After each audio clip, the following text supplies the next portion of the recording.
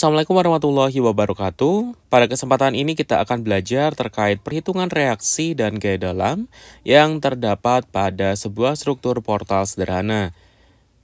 Sebelum kita melakukan perhitungan, terlebih dahulu kita harus memahami apa yang dimaksud dengan portal.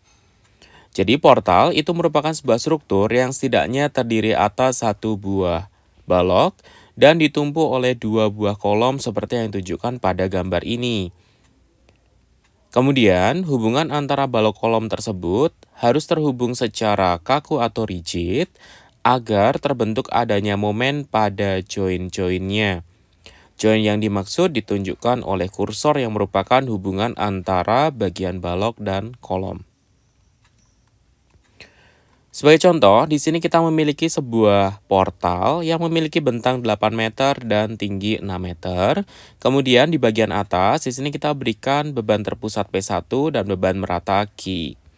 Kemudian pada sisi kolom kedua, kita berikan beban terpusat P2.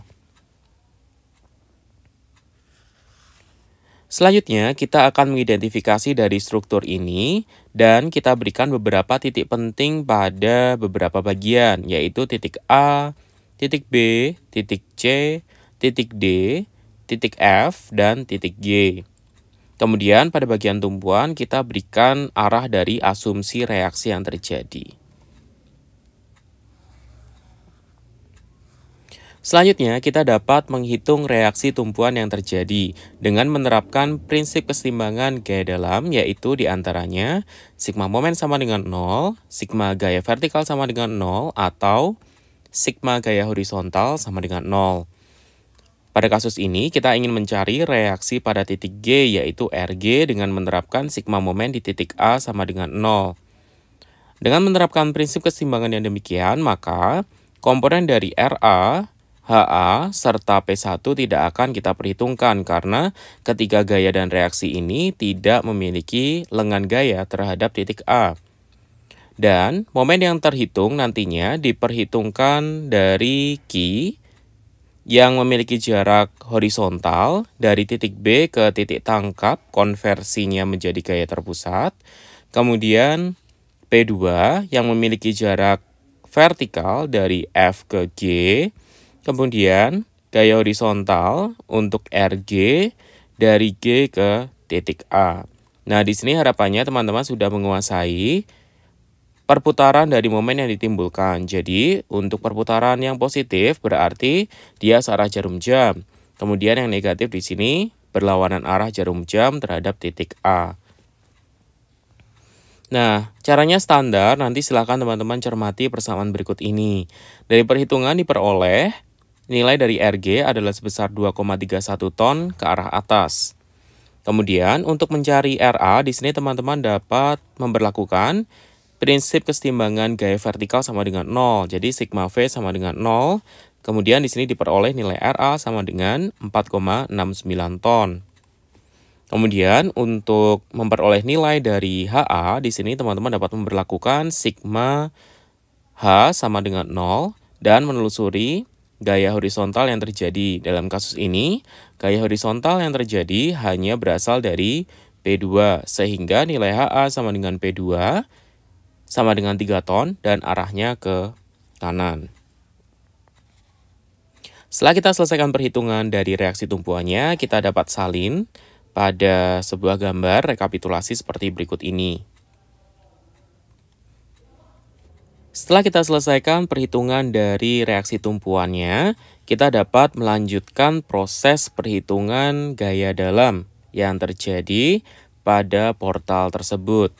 Nah, clue-nya di sini, untuk menghitung gaya dalam pada setiap komponen penyusun portal, teman-teman perlu membagi portal yang dihadapi menjadi komponen-komponen yang lebih sederhana. Contoh, di sini teman-teman mendapatkan sebuah portal dengan titik penting A, B, C, D, F, G. Nah, teman-teman dapat membaginya menjadi tiga komponen, yaitu komponen kolom, kemudian komponen balok, serta komponen kolom yang kedua. Nah, teman-teman di sini harus memisahkan masing-masing komponen tersebut dan melengkapinya dengan beberapa reaksi serta gaya-gaya yang bekerja. Jadi, sebagai contoh di sini setelah kita pecah, kita akan peroleh komponen AB, kemudian komponen kedua di sini adalah komponen BCD, dan komponen ketiga adalah komponen DFG. Pada titik A, pada gambar sebelumnya di sini, seperti yang kita ketahui terdapat reaksi tumpuan. Nah, reaksi tumpuannya kita salin beserta arahnya. Kemudian pada sisi yang lain, pada komponen ketiga di sini pada titik G juga terdapat reaksi tumpuan yaitu Rg. Kita salin angkanya serta arah dari reaksinya. Nah, selanjutnya di sini teman-teman akan mendapati beberapa titik yang sebelumnya belum terdapat reaksi. Seperti titik B pada komponen pertama, titik B pada komponen kedua, titik D pada komponen kedua, dan titik D pada komponen ketiga. Nah, kita mulai dulu dari titik B komponen pertama. Nah, apabila kita perhatikan di sini, kita akan menjadikan komponen ini setimbang. Jadi setimbang itu dapat dimaknai tidak bergerak. Contoh, pada titik A, di sini kan teman-teman mendapati adanya RA ke arah atas sebesar 4,69 ton. Nah, teman-teman membayangkan apabila kita memiliki sebuah objek dan didorong dengan RA sama dengan 4,69 ton, tentu saja objek kita akan bergerak ke arah searah dengan gaya yang diberikan. Nah, dalam kasus ini tidak diperbolehkan. Jadi kita pada sisi yang lain di titik B kita akan berikan reaksi yang arahnya itu berlawanan dan besarnya sama dengan RA. Nah, di titik B berarti kita berikan reaksi ke arah bawah besarnya 4,69 ton.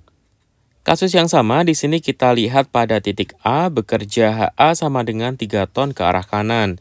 HA sama dengan 3 ton ke arah kanan ini akan menyebabkan komponen AB akan bergerak ke arah kanan juga. Dan pergerakan itu harus kita cegah dengan memberikan reaksi yang besarnya sama dengan HA, namun arahnya berlawanan pada titik B. Jadi pada titik B sekarang terdapat reaksi sebesar RA namun berlawanan arah dan sebesar HA namun arahnya berlawanan. Nah, tentu saja teman-teman bertanya-tanya apa maksud dari panah yang warna oranye yang ditunjuk oleh kursor ini. Jadi panah oranye ini maksudnya adalah apabila kita ingin menghitung reaksi atau kita ingin menganalisis reaksi yang terjadi pada titik-titik dalam portal tersebut, kita akan lakukan secara urut mengikuti perputaran arah jarum jam atau searah jarum jam. Jadi, setelah kita selesaikan komponen yang pertama atau bagian satu di sini, kita dapat lanjutkan dengan bagian yang kedua, yaitu komponen B, C, D. Nah, apabila kita cermati di sini, terdapat dua buah titik yang belum memiliki reaksi, yaitu pada titik B dan titik D. Nah, di sini teman-teman harap mencermati terdapat titik yang sebenarnya punya identitas yang sama dengan bagian sebelumnya. Contoh, titik B ya. Nah, titik B pada komponen kedua itu letaknya pada bagian paling kiri. Nah, kalau yang kasus pertama tadi pada bagian satu titik B-nya itu merupakan akhir. Nah, ini adalah akhir, ini awal. Nah, reaksi yang timbul antara kedua titik ini akan sama jadi reaksinya akan sama. Teman-teman akan dipermudah dengan adanya kasus ini. Jadi di sini apabila kita lihat ya, contoh pada titik B sebelah kiri yaitu komponen 1 itu kan bekerja reaksi yang arahnya ke bawah sebesar 4,69 ton. Nah, pada titik B kalau kita lihat arah vertikalnya juga pada bagian kedua ya, berarti pada bagian itu akan bekerja reaksi yang besarnya sama, yaitu 4,69 ton juga. Tapi arahnya akan berlawanan. Jadi seolah-olah ini adalah yang pandang kiri, ini adalah yang pandang kanan. Jadi kalau di titik B, arah vertikalnya bekerja 4,69 ton ke bawah, pandang kanannya akan bekerja reaksi vertikal yang besarnya sama yaitu 4,69 ton arahnya ke atas.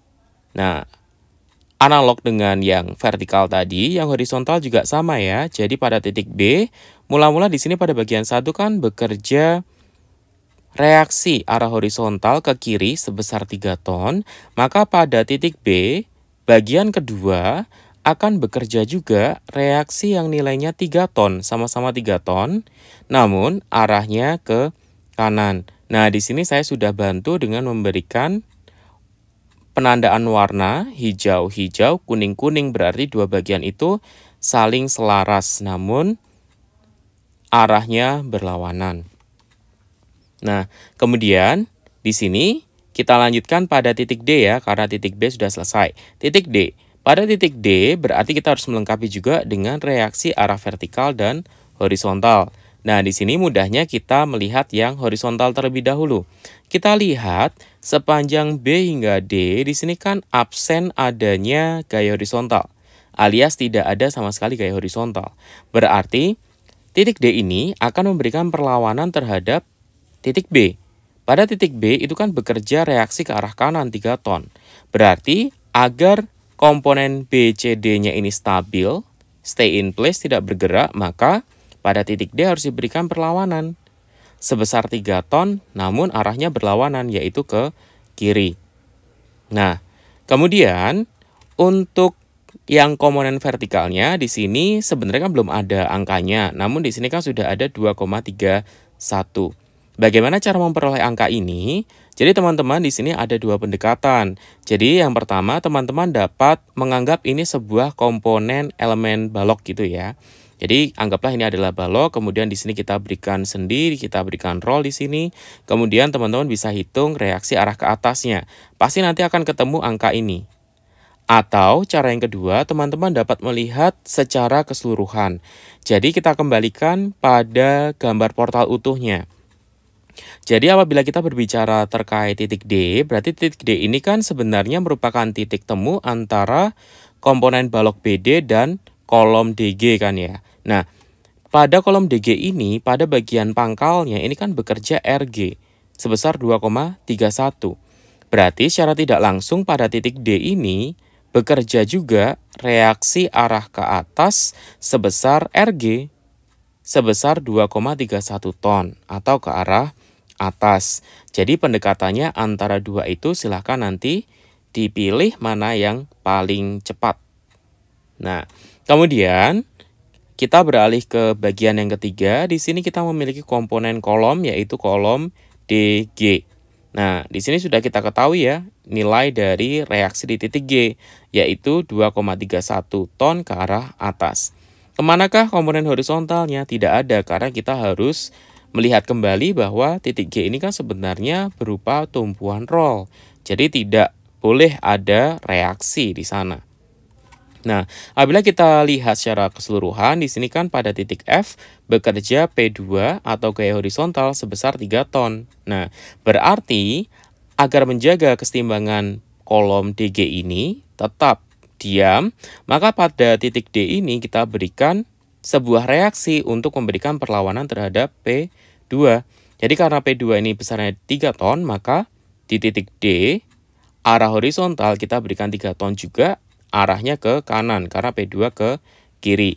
Nah, kemudian untuk reaksi arah vertikal di titik D, di sini teman-teman perlu melihat di titik G-nya. Di titik G terjadi reaksi ke arah atas atau vertikal sebesar 2,31 ton Agar ini tetap seimbang, maka di titik D harus dilawan dengan 2,31 ton juga, namun arahnya ke bawah.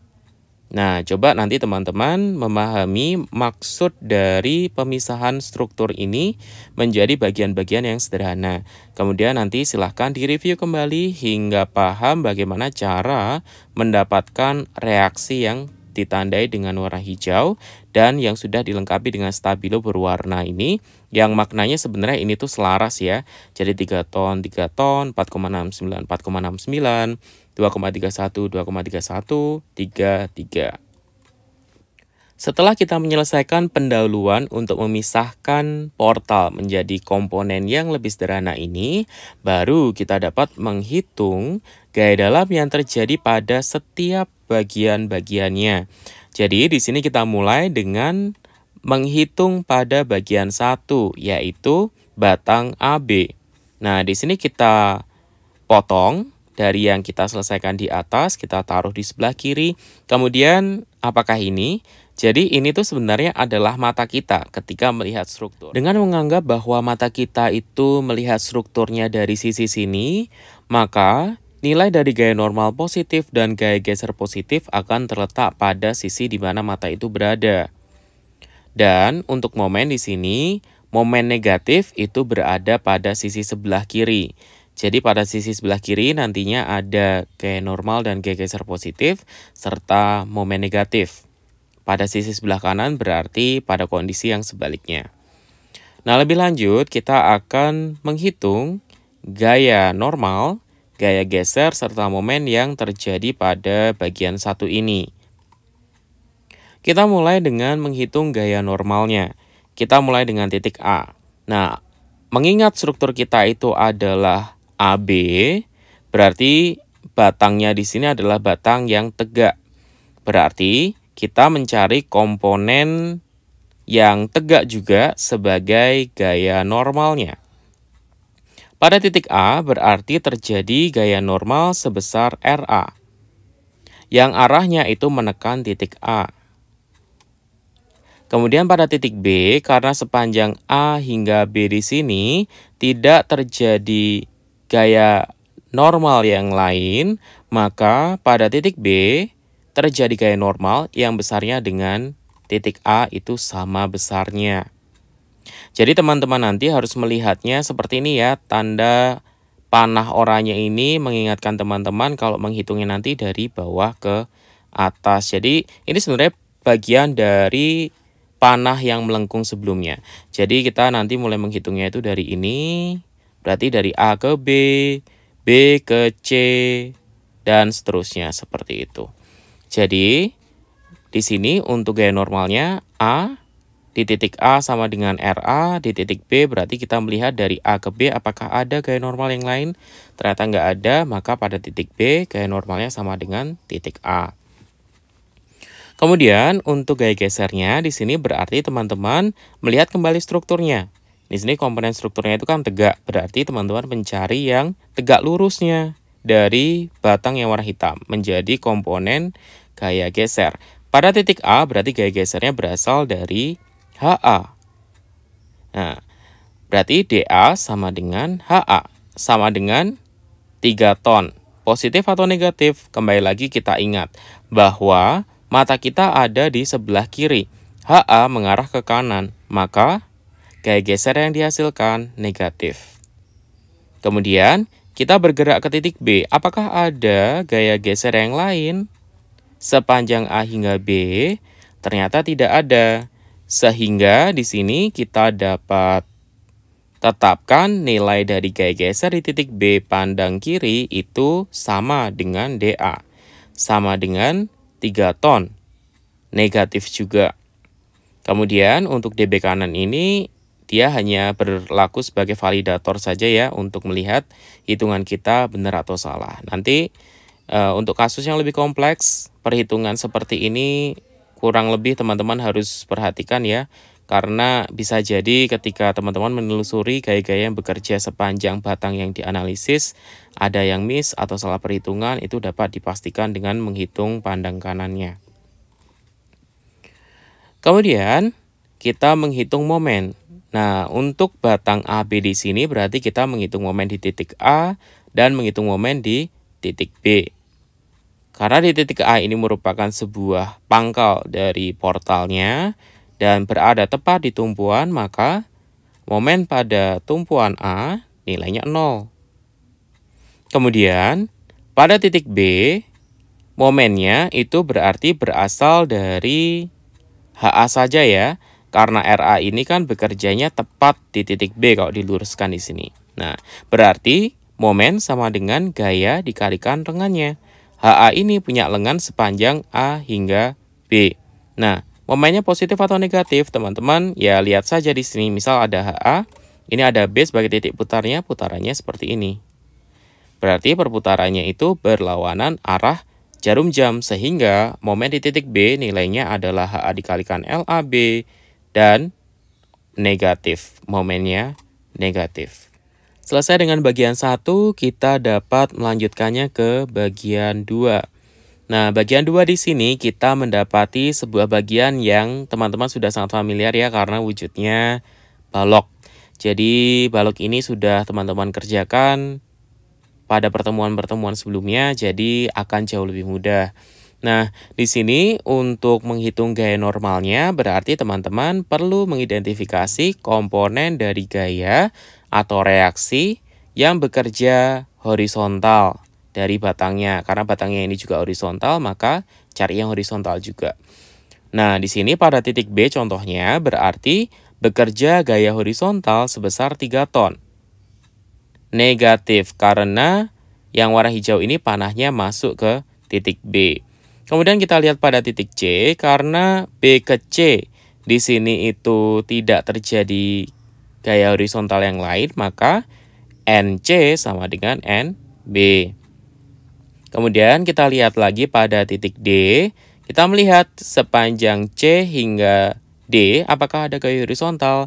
Ternyata tidak ada lagi, maka nilai dari ND sama dengan NC. Atau dapat disimpulkan bahwa gaya normal pada titik B, titik C, dan titik D itu sama dengan 3 ton dan sifatnya itu tekan atau negatif. Nah, di sini teman-teman diingatkan kembali mengerjakannya itu dari kiri ke kanan karena ini adalah bagian dari panah oranye yang melengkung ini. Kita kerjakannya dari A ke B, B ke C, C ke D dan seterusnya. Nah, kita sudah selesaikan menghitung gaya normalnya, kita dapat lanjutkan dengan menghitung gaya gesernya. Nah, menghitung gaya geser di sini berarti kita melihat komponen tegak lurus dari batang BD. Berarti kita lihat yang vertikal ya. Pada titik B di sini kita punya P1, 2 ton ke bawah, dan ada panah hijau yang atas di sini nilainya 4,69. Berapa nilai gaya geser di titik B? Berarti di sini kita berlakukan karena matanya di sini tuh ada di atas, kayak normal positif dan kayak geser positifnya itu di atas, negatif di bawah. Berarti 4,69 dikurangi dengan P1 atau min P1 ditambah 4,69. Pada titik B di sini diperoleh nilai gaya gesernya sebesar dB sama dengan 2,69 ton positif. Kemudian kita beralih ke titik C pandang kiri. Nah, sepanjang B hingga C di sini kan tidak terdapat gaya-gaya lain yang bekerja atau gaya yang tegak lurus dari BD yang bekerja sehingga nilainya konstan ya gaya gesernya DC kiri sama dengan DB.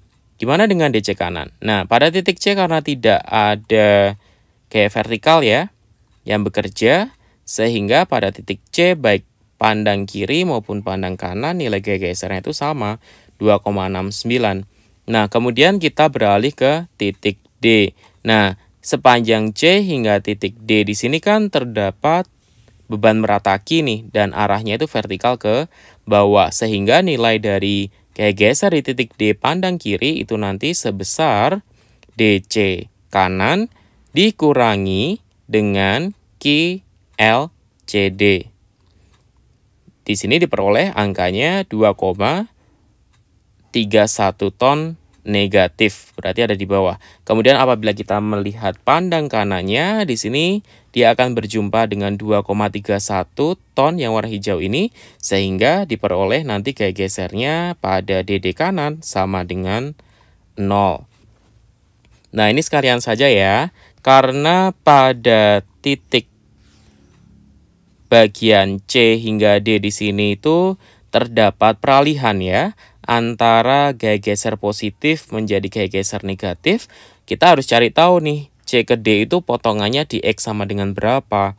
Nah, di sini tinggal kita salin saja. Jadi bentangan yang horizontal ini mewakili bagian CD atau 5 meter ya di sini.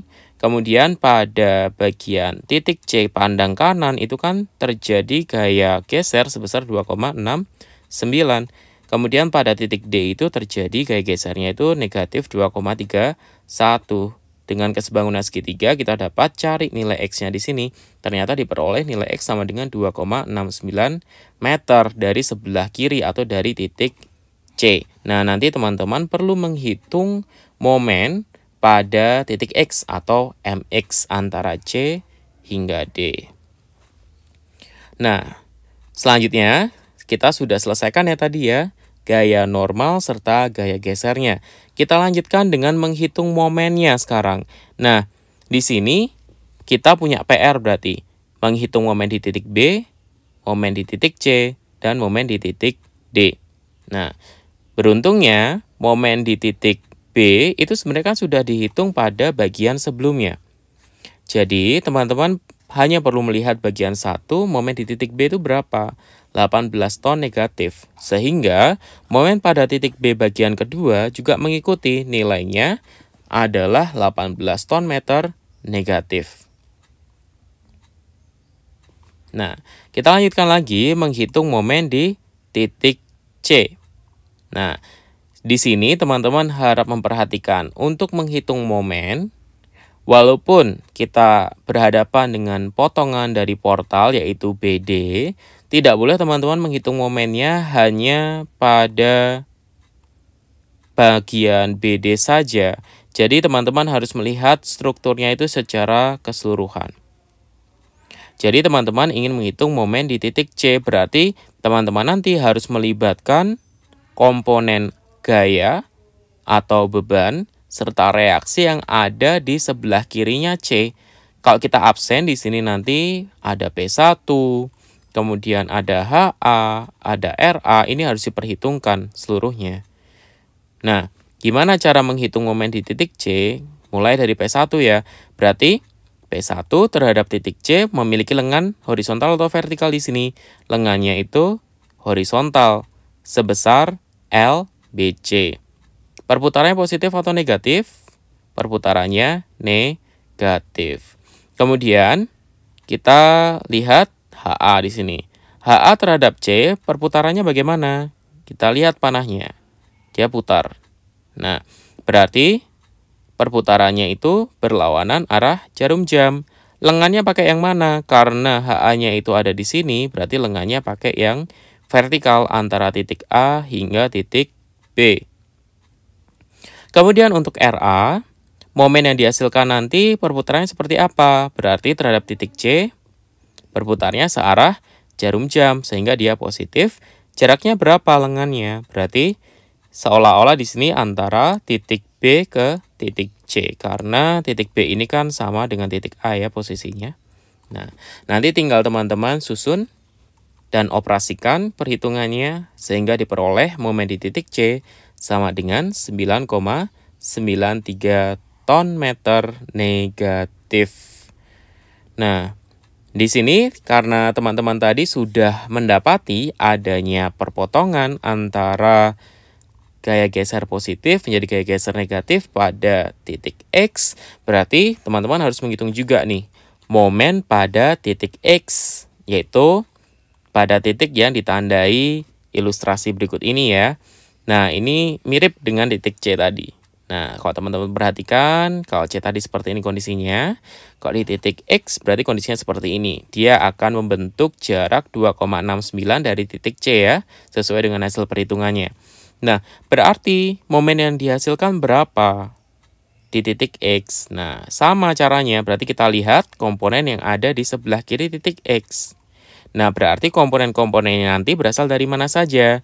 Kalau kita lihat dari yang terdekat nih, dari titik X, berarti nanti ada sebagian dari beban meratanya. Di sini kalau kita tandai dengan stabilo warna hijau, berarti komponennya itu hanya yang ditanya ini aja. Nggak boleh lebih dari itu. Di mana jaraknya itu adalah dibatasi oleh X. Nah, momen yang dihasilkan itu berapa? Kemudian momen yang dihasilkan oleh P1 Kemudian momen yang dihasilkan oleh HA dan momen yang dihasilkan oleh RA terhadap titik X. Nah, berarti momen yang dihasilkan oleh Q ini berapa terhadap titik X. Berarti kan Q dikalikan L CX itu baru menghitung beban terpusatnya. Lengannya berapa? Berarti setengah dari L CX.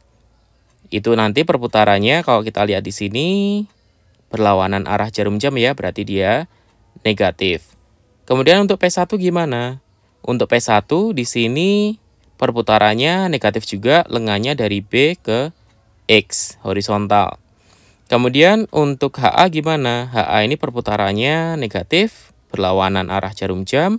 Lengannya berapa? Berarti lengannya itu dari A ke B, karena B ini sejajar dengan si X.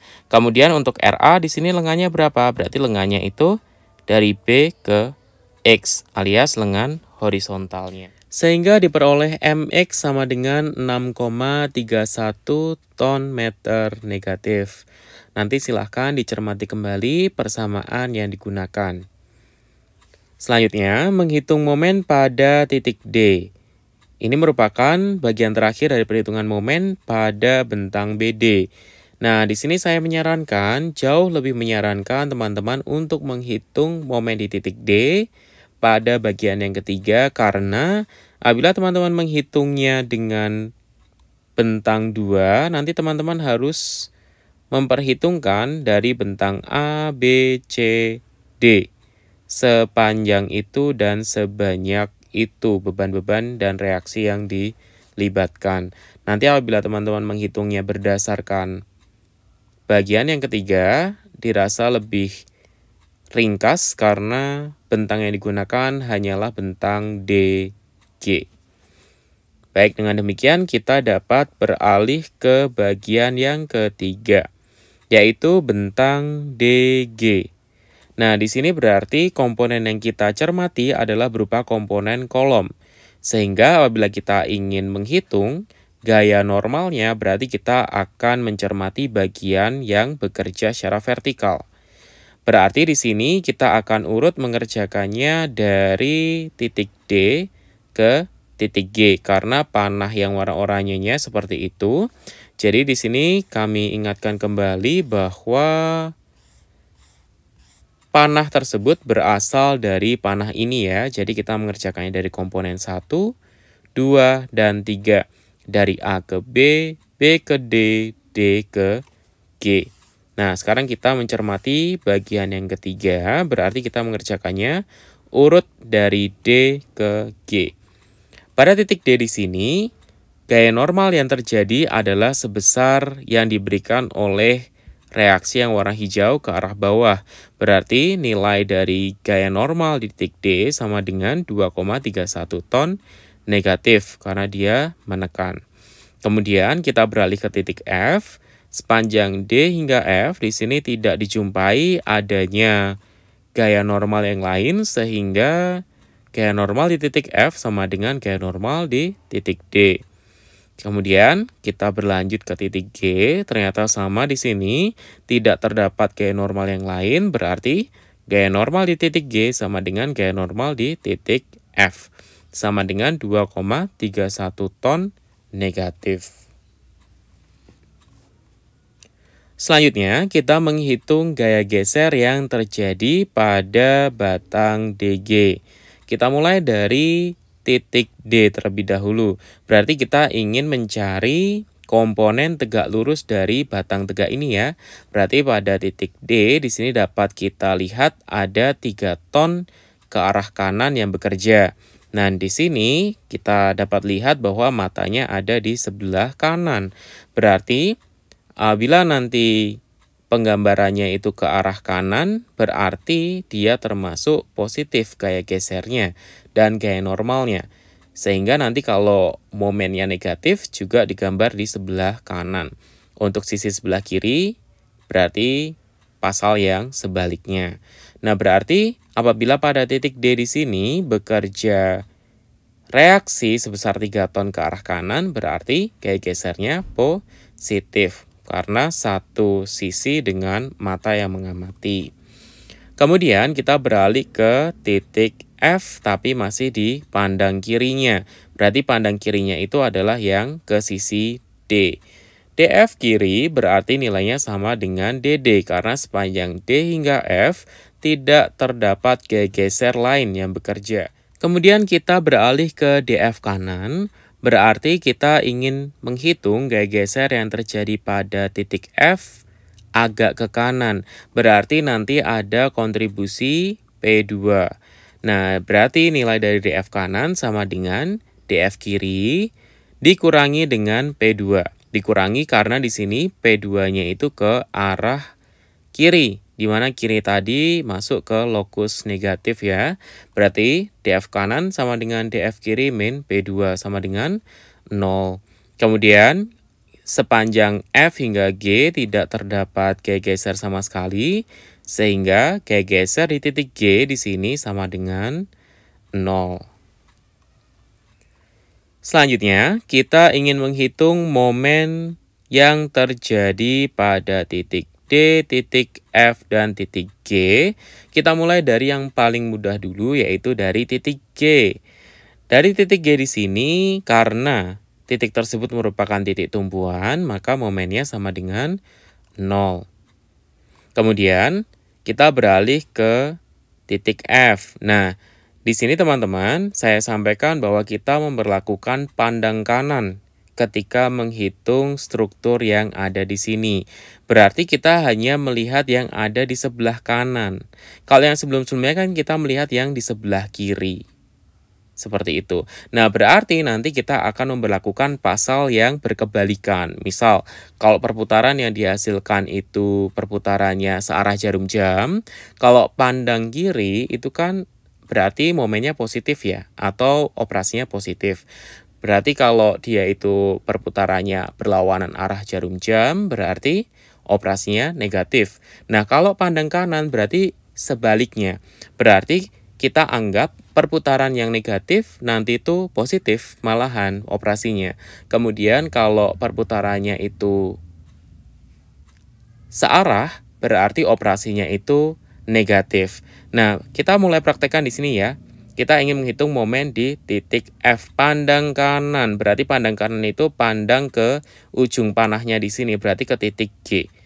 Nah, apakah ada gaya yang membentuk momen terhadap titik F? Ternyata nggak ada ya, karena RG ini bekerja tepat pada titik F kalau dicermati kalau diluruskan seperti ini. Berarti momen di titik F sama dengan 0.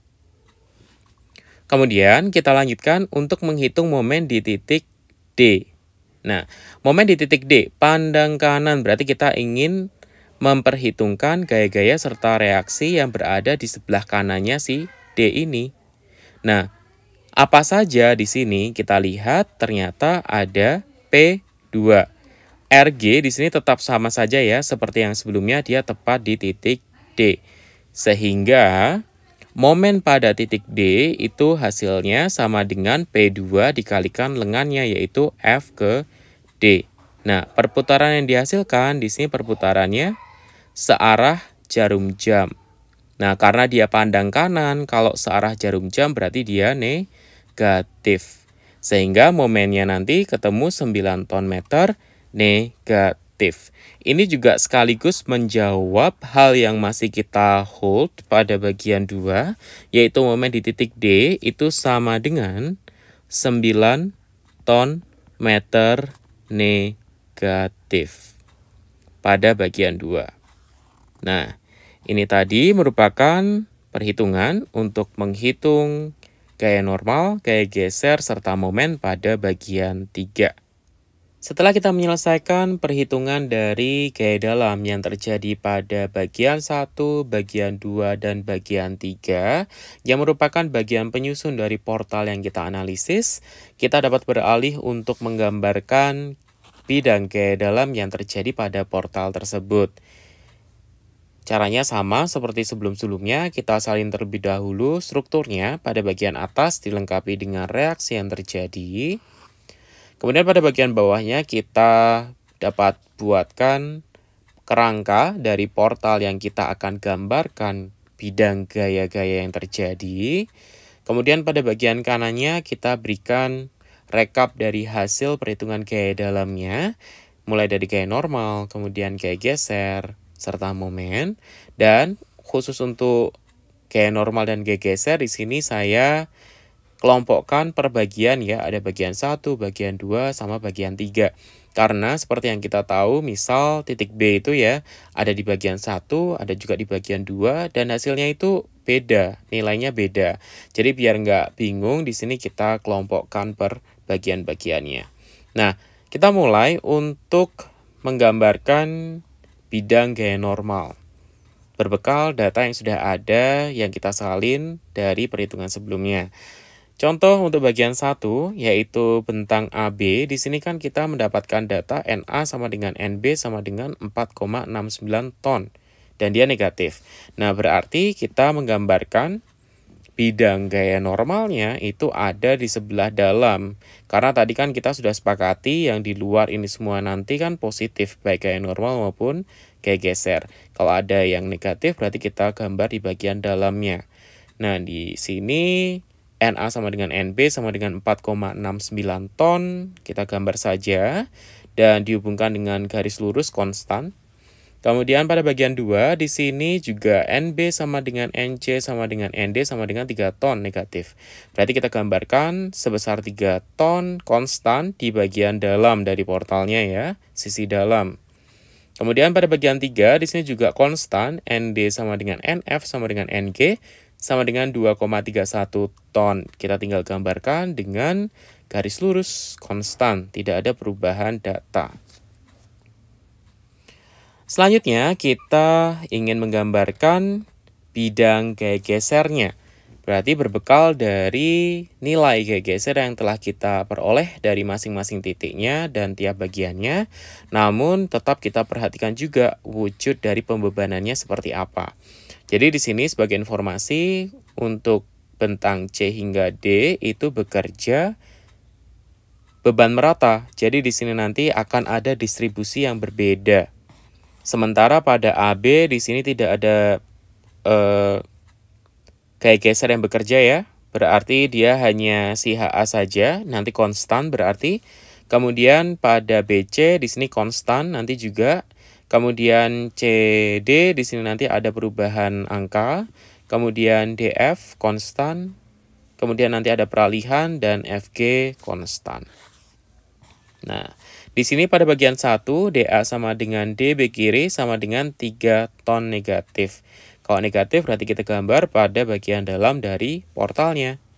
3 ton negatif. Kemudian gaya geser pada bagian 2 yaitu bentang BCD. Di sini kita memiliki data DB sama dengan DC kiri sama dengan DC kanan sama dengan 2,69 ton positif. Berarti kita akan menggambarnya pada bagian luar dari portal. Berarti dia akan naik ke atas, kemudian konstan di titik C. Kemudian pada bagian DD kiri di sini diperoleh angka 2,31 ton negatif dan di bagian CD di sini kan bekerja beban merata ya berarti ada peralihan berupa linear ya di sini ya, dihubungkan dengan garis linear ke 2,31 ton.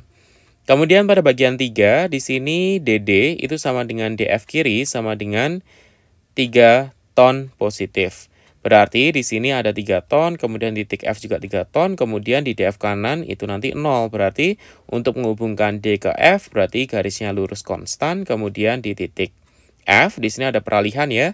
Dari 3 ke 0, dia langsung dihubungkan dengan garis lurus saja. Selanjutnya, menggambarkan bidang momen yang terjadi pada portal ini.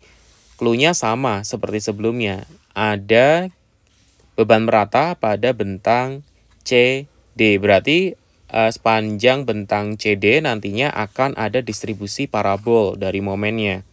Nah, kita mulai dulu untuk menginventaris nilai momen yang terjadi pada tiap titiknya. Di sini MA 0, MB 18 ton negatif.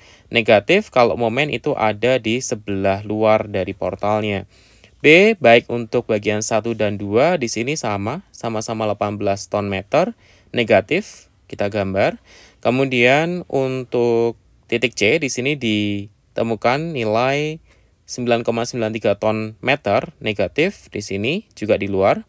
Kemudian MX sejarak 2,69 yang tadi diperoleh 6,31 ton meter negatif juga, masih di luar dari portalnya.